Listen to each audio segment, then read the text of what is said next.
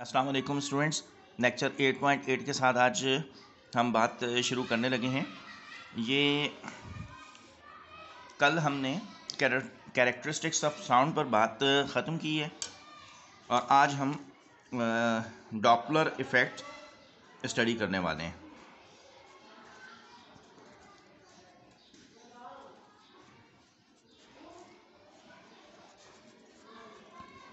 Doppler effect उस scientist के नाम पर इसका नाम रखा गया है, जिसने इसे फ़र्स्ट टाइम डिस्कवर किया था। ऑस्ट्रिया के साइंटिस्ट हैं ये। और पूरा नाम इस वक्त मेरे जहन में नहीं, साइमन डॉपलर थे या कोई और डॉपलर थे। तो इन्होंने स्टडी किया था लैब में इस इफ़ेक्ट को। और इस, उनके नाम पर इसे डॉपलर इफ़ेक्ट कहते हैं। According to Doppler effect apparent change in the frequency of a sound signal या कोई और signal due to the motion of source और the listener is called Doppler effect Doppler effect में होता ये है कि समटाइम्स uh, जैसे कि कुछ केसेस हो सकते हैं। लाइक like फ़र्ज़ करें कि ये एक गाड़ी है। अच्छा अब इस गाड़ी में यहाँ कोई फ़र्स्ट को ये एंबुलेंस पे जैसे आपने हूटर लगा होता है ना ऊपर, ये हूटर लगा हुआ है। और इसमें से वॉइस सिग्नल एमिट होता है। ठीक है, ये इसकी स्पीड है भी।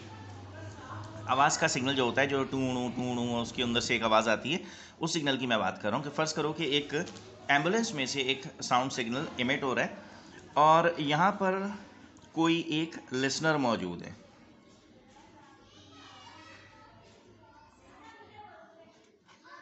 ये कोई लिसनर।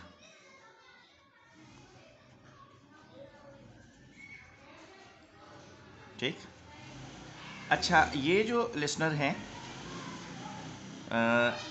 इसे ज़ाहिर है कि ये आवाज़ सुनाई देगी। इस लिसनर की स्पीड, इस वक्त फ़र्ज़ करो कुछ भी है, मैं उसको, अगर कभी होगी तो उसका नाम मैं वी एल रखूँगा, यानी वेलोसिटी ऑफ़ लिसनर कितने किस्म किस्म के केसेस हो सकते हैं। फ़र्ज़ करें कि ये एंबुलेंस रुकी हुई है और इसमें से आवाज़ का सिग्नल स्पीड वी से मूव हो रहा है और उसकी एक आवाज़ आ रही है और ये जो लिसनर है, ये इस एंबुलेंस की तरफ़ मूव करता है। ये तो पहला केस हो गया जिसमें लिसनर इसका नाम मैं रख देता हूँ सोर्स जिसमें से आवाज़ जनरेट हो रही है, वो सोर्स अच्छा मैं ये कहना चाह रहा हूँ कि या तो ये केस हो सकता है कि सोर्स रुका हुआ है और लिसनर सोर्स की तरफ़ मूव करता है। अच्छा ये पैदल भी हो सकता है, हो सकता है कि लिसनर किसी रिक्शा में, किसी कार में, किसी साइकिल पर, किसी मोटरसाइकिल पर बैठा हुआ है। ये तो हो सकता है ना भाई लिसनर आप हैं और एंबुलेंस गुजर रही है करीब से।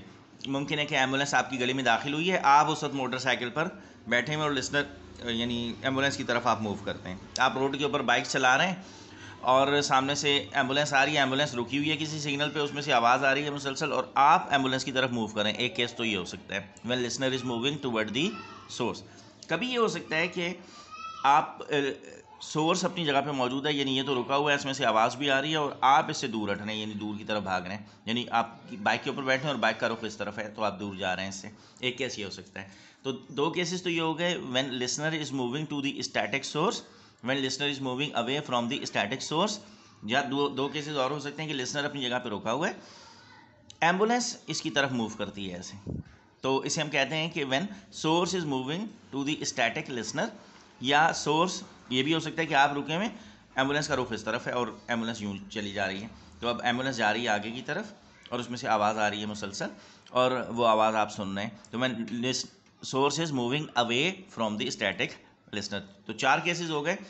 या तो लिसनर सोर्स की तरफ़ जाए, या लिसनर सोर्स से दूर जाए, या सोर्स लिसनर की तरफ़ जाए, या सोर्स लिसनर से दूर जाए, चार केसेस या दो केसेस और ये होते हैं कि दोनों एक दूसरे की तरफ़ आएँ, या दोनों एक दूसरे से दूर जाएँ। अच्छा और आवाज़, उससे ज़ाहिर आवाज़ पे कुछ चेंज आता है। आपने महसूस किया होगा कि आप एक जगह रुके हुए और कोई एंबुलेंस आपकी तरफ़ आ रही है तो उसका जो सिग्नल होता है, उसकी आवाज़ में आप एक वेरिएशन एक तब्दीली महसूस करते हैं। मैं ये लिंक आपको फॉरवर्ड कर दूँगा, जिसमें आप इस आवाज़ की तब्दीली को बाकायदा महसूस कर सकेंगे। तो ये जो तब्दीली होती है, जो सोर्स या लिसनर की हरकत की वजह से आवाज़ में एक तब्दीली महसूस होती है बेसिकली ये आवाज़ की फ्रीक्वेंसी में तब्दीली होती है। इस फ्रीक्वेंसी या पिच में जो तब्दीली मोशन ऑफ़ द सोर्स या लिसनर की वजह से होती है, इसे डॉप्टर इफ़ेक्ट कहते हैं, और ये जैसे कि मैं आपसे बात कर चुका कि ये इफ़ेक्ट डिस्कवर किया था डॉप्टर ने। तो अब चार केसेस होते हैं इसके। मैं इसमें से आज केस वन डिस्कस कर रहा हूँ। अच्छा ये केस वन इसे अपनी आसानी के लिए मैंने नाम दिया। ये नहीं है कि आप ये फ़र्ज़ कर लें कि केस वन का मतलब ये होता है, जो मैं अभी लिख रहा हूँ। When listener is moving to the source in rest. ये केस है। ठीक है तो अब मैं इस केस को डेमोस्ट्रेट करने लगा। तो पहले, सबसे पहले जब आप डॉप्लर इफ़ेक्ट लिखेंगे तो इसकी डेफिनेशन लिखेंगे हेडिंग डालेंगे डॉप्लर इफ़ेक्ट और पहले उसकी हेडिंग लिखेंगे और वो हेडिंग क्या हो जाएगी? कि अपेरेंट अपेरेंट का मतलब क्या होता है? ज़ाहिरी। Change in the frequency F R मैंने लिखा है, आपने पूरा लिखना है फ्रीक्वेंसी या pitch of the sound S O U N D sound due to the motion of source or the listener is called Doppler effect ठीक है अच्छा मैं लिखता इस वजह से हूँ कि लिखने में मेरे बोलने की स्पीड उतनी होती है जितनी आपको इजी रहती है खुद लिखने में। ठीक है, लिख, खुद लिखते हुए बोलने में ये फ़ायदा होता है। कि मैं उस रफ्तार से बोलता हूँ कि आपके लिए भी लिखना फिर आसान हो जाता है। अच्छा ये तो हो गया डॉपलर इफ़ेक्ट तो apparent change in the frequency या pitch of sound due to the motion of source या और the listener is called Doppler effect अच्छा अब इसके चार केसेस हैं जिसमें से केस वन हम कर रहे हैं। When listener is moving to the source in rest अच्छा अब इसे हम क्या करते हैं? पहले तो हम ये केस डेमोस्ट्रेट करें। मैं एक सोर्स बनाता हूँ। ठीक है, ये है सोर्स सोर्स ऑफ़ साउंड। वो सोर्स जो कि साउंड प्रोड्यूस कर रहा है। और ये इसमें से, ये मैंने स्पीकर बनाया इसका। और ये इसमें से आवाज़ आ रही है। और आवाज़ का सिग्नल जो जा रहा है, उसकी स्पीड है वी आवाज़ के सिग्नल की स्पीड जो वी है, वो कितनी हो सकती है? याद है आपको? Three thirty two, three thirty one.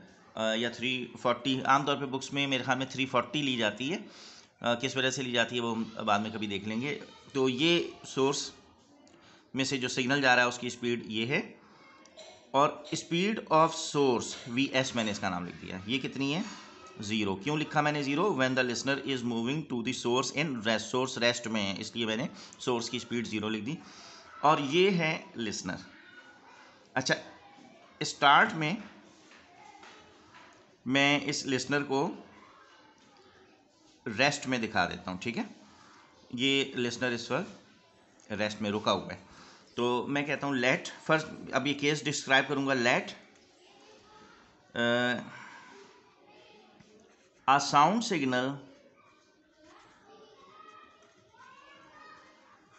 of speed V is emitted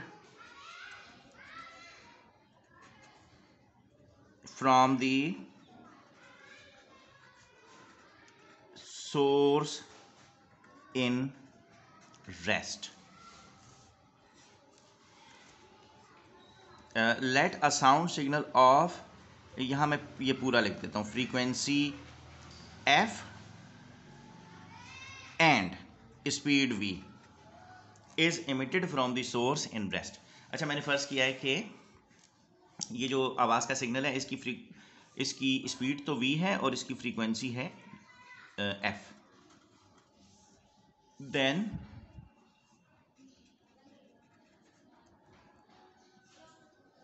F is equal to sorry, v is equal to f lambda से इसकी स्पीड को ज़ाहिर किया जा सकेगा। ठीक है, ये तो एक जनरलाइज इक्वेजन है जो कि हर साउंड सिग्नल और हर वेव पर अप्लाई की जा सकती है। और इसी से अगर मैं फर्दर इसको सॉल्व करूँ तो ये इक्वेशन और कैसे लिख सकते हैं हम? V इज़ ये f इधर ले आते हैं, ठीक है?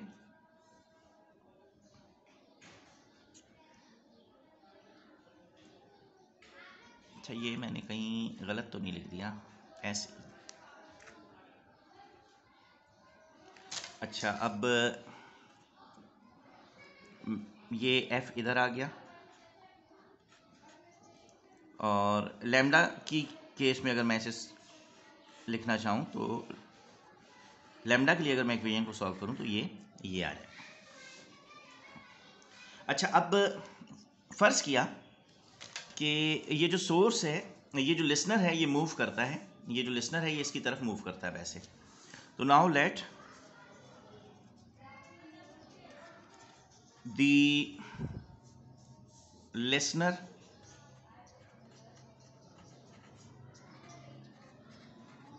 Moves to the source with a velocity v l. अच्छा अब ये मैं फ़र्ज़ करता हूँ कि ये आदमी इसकी तरफ़ मूव करता है, इसकी स्पीड वी एल हो जाती है। अच्छा अब ये केस एक्सप्लेन करना ज़रूरी है थोड़ा सा, कि फ़र्ज़ करें ये एक आदमी है और ये मूव करता है इस तरफ़। इसकी स्पीड है थ्री मीटर्स पर सेकंड यानी वी अच्छा अब दूसरा आदमी यहाँ खड़ा हुआ है। ठीक? और ये भी स्केटिंग बोर्ड के ऊपर है। ये रुका हुआ अपनी जगह। जब ये इसकी तरफ़ मूव करेगा तो इस आदमी को लगेगा इस आदमी को लगेगा कि इसकी speed three metres per second है, जो कि एक्चुअल इसकी स्पीड है। अब फ़र्ज़ करो कि ये थ्री मीटर्स पर सेकेंड की स्पीड से यूँ जा रहा है और उसी टाइम पर ये वन मीटर्स पर सेकेंड की स्पीड से इधर आ रहा है। अब ये दोनों जा रहे हैं। ऐसे, ठीक है? तो क्या लगेगा? ये नहीं, ये देखो कि ये ये यूँ। दोनों ही मूव कर रहे हैं। जब दोनों मूव कर रहे हैं तो इसे ये लगेगा कि उसकी speed three metres per second नहीं है, बल्कि इसकी अपनी स्पीड जो है, ये भी उससे महसूस होगा कि उसकी स्पीड है। तो इसे टोटल महसूस होगा कि इस आदमी की स्पीड है थ्री प्लस वन यानी कि फोर मीटर्स पर सेकेंड वो बच्चे जिन्होंने ट्रेन्स पर ट्रैवल किया हुआ है, जब उनकी अपनी ट्रेन मूव कर रही हो और दूसरी ट्रेन भी मूव कर रही हो तो लगता है कि दूसरी वाली ट्रेन बहुत ज़्यादा तेज़ी से मूव कर रही है, क्योंकि उनकी अपनी स्पीड भी उसमें ऐड हो रही होती है। और दूसरी, ये बात आप महसूस करते हैं उस जगह पर, जैसे कि मेट्रो में आपने देखा है कि एलिवेटर्स लगे हुए हैं, आप उस पर खड़े हो जाते हैं, वो मूव करता है ऊपर। तो जिस वक्त आप ऊपर मूव करें, दूसरा आदमी ऊपर से नीचे की तरफ़ मूव कर रहा है। तो जब ये ऐसे मूव कर रहे होते हैं तो आपको दूसरा आदमी ज़रा स्पीड से जाता हुआ महसूस होता है नीचे की तरफ़। ठीक है? होता ये है कि जब दो, दोनों ऑब्जर्वर एंड सोर्स दोनों ही मूव कर रहे हों तो उनको एक दूसरे की स्पीड थोड़ी ज़्यादा महसूस होती है। यानी होता ये है कि इसकी स्पीड और इसकी स्पीड यानी ये वाली स्पीड और ये वाली स्पीड दोनों आपस में ऐड हो जाती हैं। तो ये वी और अगर इसकी स्पीड का नाम मैं वी एल रख दूँ तो करना क्या है मैंने? कि इस वी में इस वी एल को ऐड करना है। अब हो क्या रहा है यहाँ? आवाज़ का सिग्नल है वी उसी वक्त ये आदमी इस तरफ़ मूव करना शुरू कर देता है, अब, और इसकी स्पीड हो जाती है वी एल तो एज द होल दोनों की स्पीड में बज़ाहिर बज़ाहिर इस ऑब्जर्वर को ये महसूस होगा कि आवाज़ की रफ्तार में थोड़ा सा इजाफा हो गया है। तो अपेरेंट वेलोसिटी में उसे चेंज महसूस होता है। तो अब जो ये मैंने लिखा now let the listener moves to the source with the velocity V L and he observes apparent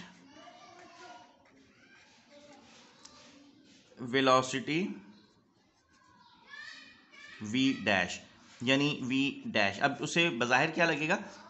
कि साउंड सिग्नल v में जो इस आदमी की अपनी वेलोसिटी है, वो ऐड हो गई है। तो बाहिर उसे लगेगा कि total velocity of the signal sound signal में इजाफा हो गया अब मुसीबत क्या है? कि क्योंकि स्पीड चेंज हो गई और हम कहते हैं कि v is equal to F lambda होता है। तो अगर स्पीड चेंज हो गई तो फिर कोई एक फैक्टर कांस्टेंट रहेगा, दूसरा फैक्टर भी चेंज हो जाएगा। तो इसलिए हैंस अब मैं यहाँ एक मिनट, मैं इसे लगा दूँ पहले। Hence the apparent.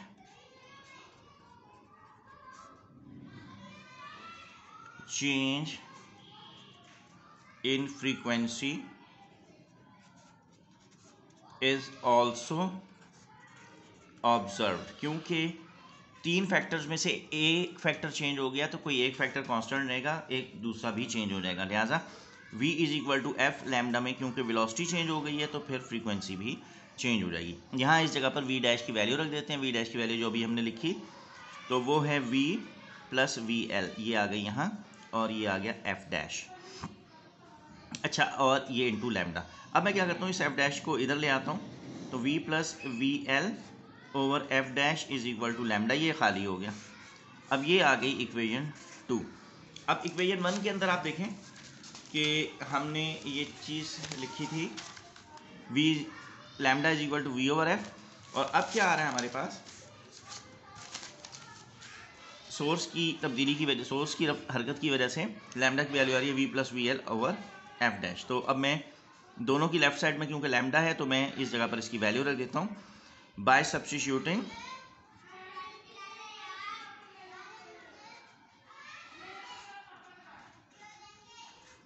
value in equation two मेरे पास आया था V plus V L divided by F dash is equal to V over F ठीक है, ये लैमडा की जगह मैंने इसकी वैल्यू इक्वेशन वन में से लिख दी है। अच्छा अब मैं क्या करता हूँ कि क्रॉस मल्टीप्लाई में ये एफ़ डैश जो है, इसे मैं उधर ले जाता हूँ और इन दोनों फैक्टर्स को इधर ले आता हूँ। तो मेरे पास क्या आ जाएगा ये एफ़ नीचे है वी प्लस वी एल ये एफ़ इधर नीचे है, उधर जाके ये ऊपर आ जाएगा। और ये एफ़ डैश मल्टीप्लाई होगा इस वी से तो ये एफ़ डैश इंटू वी आ जाएगा। इस वी को यहाँ मल्टीप्लाई हो रहा है, अगर मैं इक्वल के इधर ले आऊँ तो ये हो जाएगा। एफ़ डैश और वी ये वी क्योंकि मल्टीप्लाई हो रहा है, इसे मैं इक्वल के इधर ले आता हूँ तो ये हो जाएगा V upon V L divided by V और ये एफ़ एज इट इज़ आ गया। और करके मैं इसे कैसे लिख सकता हूँ? V plus V L divided by V into F अच्छा अब ये एफ़ डैश क्या है? एफ़ डैश है apparent change in frequency frequency में ज़ायरी तब्दीली। एफ़ क्या चीज़ है? एक्चुअल फ्रीक्वेंसी वो जो शुरू में थी ना, आवाज़ के सिग्नल की अब हरकत की वजह से क्या होगा? बताओ, ये जो फैक्टर है, ये V plus V L divided by V इसका आंसर वन से बड़ा आएगा या वन से छोटा आएगा? ठीक है, ये वाली प्रैक्टिस तो हम बहुत दफ़ा कर चुके हैं ना। मोमेंटम के केस में भी हमने किया था। तो मैं ये बात कह रहा हूँ कि बताओ V plus V L divided by V इस फैक्टर का आंसर वन से बड़ा आएगा या वन से छोटा आएगा? तो ये आंसर आएगा वन से बड़ा। अच्छा वन से बड़ा क्यों आएगा? इसलिए कि जिस जो फैक्टर यहाँ लिखा है, उसी फैक्टर से डिवाइड करें। अगर वी ओवर वी लिखा होता तो आंसर वन आ जाता, लेकिन ऊपर वाले फैक्टर में कुछ ऐड हो रहा है। जब कुछ ऐड होगा तो ऊपर वाला फैक्टर नीचे वाले फैक्टर से बड़ा होगा, क्योंकि न्यूमिनेटर डिनोमिनेटर से बड़ा है तो ये आंसर वन से बड़ा आएगा। और जब वन से बड़ा आएगा तो एफ़ से मल्टीप्लाई होगा। एफ़ कौन सी फ्रीक्वेंसी है? हरकत से पहले की फ्रीक्वेंसी तो एफ़ जब वन से बड़े नंबर से मल्टीप्लाई होगा तो जो नया आंसर आएगा वो एफ़ से तो बड़ा ही होगा। इसलिए मैं कह सकता हूँ कि F dash is greater than ठीक है? तो इसका मतलब है कि अपेरेंट फ्रीक्वेंसी यानी एफ़ डैश एक्चुअल फ्रीक्वेंसी से ज़्यादा होगी। हैंस वी कॉन्क्लूड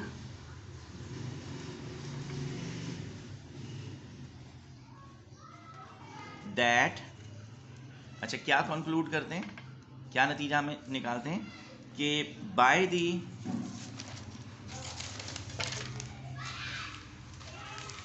यानी हम ये नतीजा निकालते हैं कि hence due to the motion of listener the apparent frequency of the sound signal is increased. ठीक है? ये है पहली एप्लीकेशन ऑफ़ डॉपलर इफ़ेक्ट ठीक है? तो ये आप डॉपलर इफ़ेक्ट उसकी डेफिनेशन और उसका पहला केस लिख के और सबमिट कर दीजिएगा। ये पहला असाइनमेंट हो गया मुझे चार केसेस करने। तो अब दूसरी क्लास में फिर दूसरा केस डिस्कस करने के बाद तीसरी में हम दोनों एक साथ डिस्कस कर देंगे। तो पहले केस में मैंने इसकी बात की है जिसमें ऑब्जेक्ट मूव करता है। ठीक है? लिसनर मूव करता है किसकी तरफ़? स्टैटिक सोर्स की तरफ़। और इसके बाद के केसेस में हमने ये डिस्कस करना है, जबकि कौन मूव करता है?